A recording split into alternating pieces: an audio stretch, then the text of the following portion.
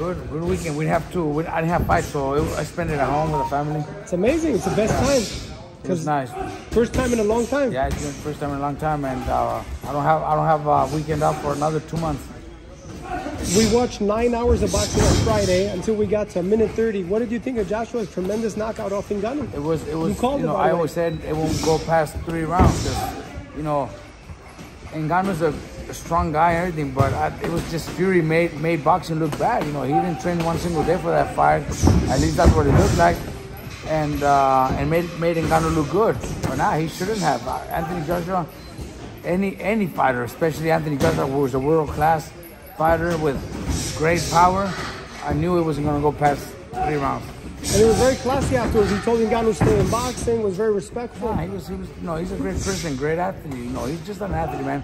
That's what he needed, man. You know, you know, from from from previous fights, uh, you know, last year was the best thing they could have done. Kept him busy. His management team did a great job. Matchroom did a great job. They're uh, keeping him busy. That's what that's what that's what he needed. And look, the, his performances, his performance showed.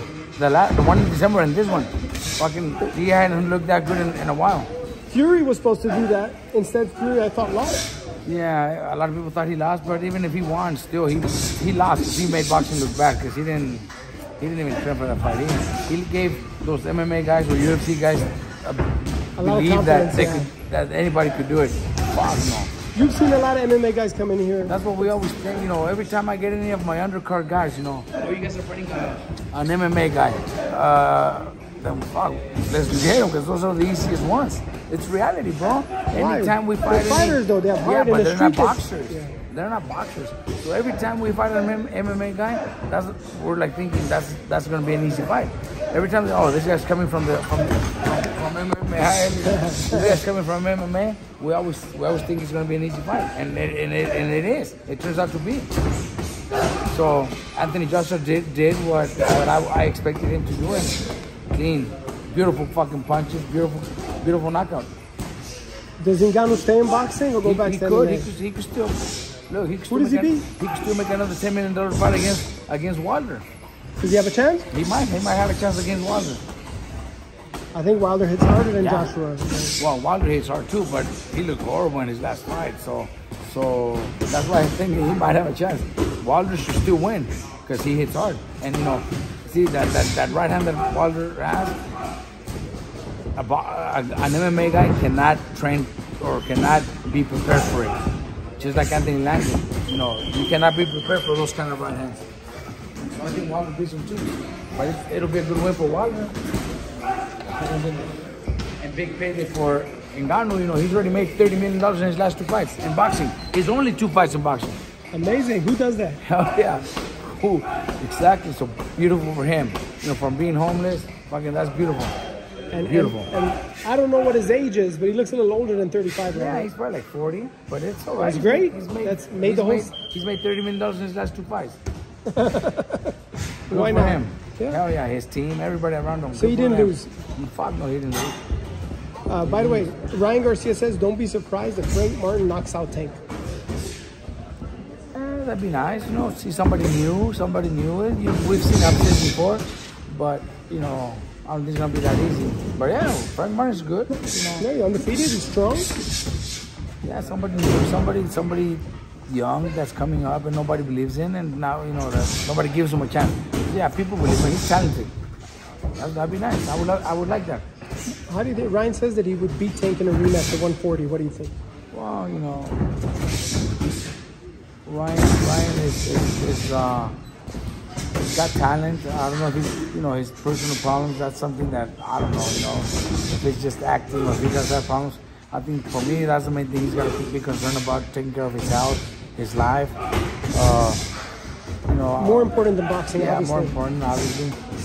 But uh, but I, I really don't think he, he beats Tank. But you know, the, the good thing is that he hits hard, so anything could happen. So starting March 29, you have a lot of big fights.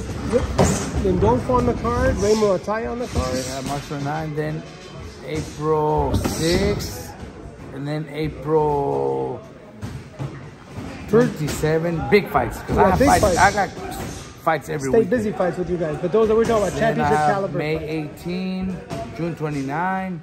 Yeah, every month for the next four months we'll be busy. It's exciting. Yeah, I'm, happy. I'm excited, man. I need this fucking fights too, man. I got it. It's nice. I like it. And it's good for them too. They're gonna make some paydays. This is what they work hard Así, for. buena defensa, Lindolfo. Bien bloqueadito, bien defensivo.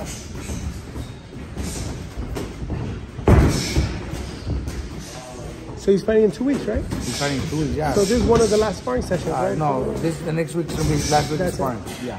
And he's ready. Oh, he's he's always ready. in shape. You've Yeah, never really seen him out of shape, Robert. He does a lot of uh, he, he- a lot of cardio. He does a lot of cardio with his bike. He just spent the weekend in Big Bear Wow.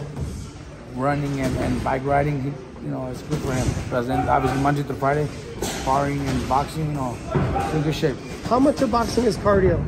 Yeah, a lot, a lot, a lot of it has to has to be cardio, man. You could be the best boxer, but if you're not if, you, if you're not in good shape, have a five, six, seven round, and you're in a 12 round fight, you're in trouble. It's tough, man. Boxing's tough. Everything's tough. Nothing's easy. Oh, yeah. Then you have to do sit-ups and work on your strength and conditioning. Así, buena defensiva, Lindolfo. Side to side, para los lados. And his fight's a big fight as well, right? Who? Uh, Lindolfo. Lindor, yeah, he's next fight, you know, every fight's getting closer and closer, man. He's a 140. It's a hot good. division. Beautiful, beautiful division to be in.